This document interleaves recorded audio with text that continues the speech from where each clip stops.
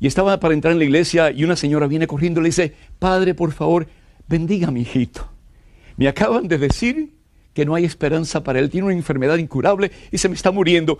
Ore, por favor. Y le dice a Juan Bosco, mira, tú regresa a casa, reza un Padre Nuestro y tres Aves Marías todos los días, por nueve días.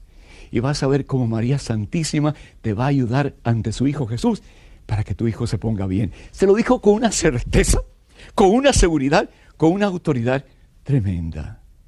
Pasaron los días. Dos semanas más tarde, cuando Juan Bosco iba a entrar en la iglesia, venía la señora corriendo con su nené. Padre, padre, mire a mi hijo. Ya no se está muriendo, ya está vivo. Y San Juan Bosco dijo, ¿ves? Como tenemos una madre en el cielo, que intercede en todo momento, y se le pedimos con ahínco y con